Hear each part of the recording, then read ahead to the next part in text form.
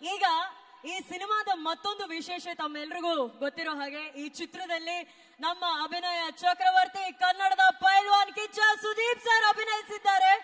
ಕಾರಣಾಂತರದಿಂದ ಅವರ ಶೂಟಿಂಗ್ ಪ್ರಯುಕ್ತ ಅವರು ಕಾರ್ಯಕ್ರಮಕ್ಕೆ ಬರಕ್ ಆಗಿಲ್ಲ ಬಟ್ ಅವರ ಕಡೆಯಿಂದ ನಿಮಗೋಸ್ಕರ ಒಂದು ವಿಡಿಯೋ. ಲೈವ್ ಆಗಿ ನಿಮ್ ಜೊತೆ ಮಾತಾಡೋದಕ್ಕೆ ಕಾಯ್ತಾ ಇದಾರೆ ಕಿಚ್ಚ ಸರ್ ಹಾಯ್ ಸರ್ ಎಲ್ಲರಿಗೂ ನಮಸ್ಕಾರ.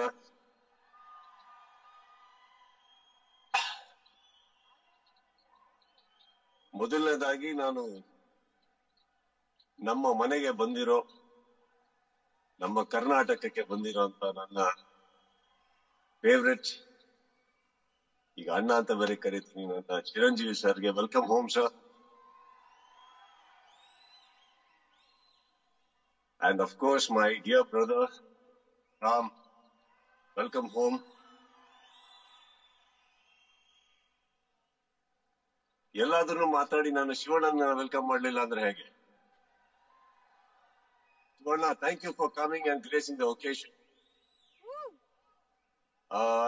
ಎಲ್ಲ ಬಂದಿರುವಂತ ಎಲ್ಲ ಸ್ನೇಹಿತರಿಗೆ, ಮಾಧ್ಯಮ ಮಿತ್ರರಿಗೆ ಥ್ಯಾಂಕ್ಸ್ ಹೇಳ್ತಾ ಅಂಡ್ ನಾನು I start off with the first very first line that I always say you always you want to have a son you should have like Ram. The best gift what a son can give a father is Saira Narsimha Reddy. So, on this occasion, probably, sir, Chiranjeevi, sir, I think I should also adopt Ram so that I also can do a Saira someday in my life. sir.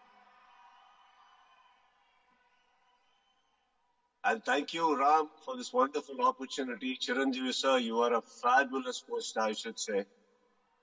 And I enjoyed being out Raju and I enjoyed standing next to you and I enjoyed even standing behind you, allowing you to do what you are supposed to do.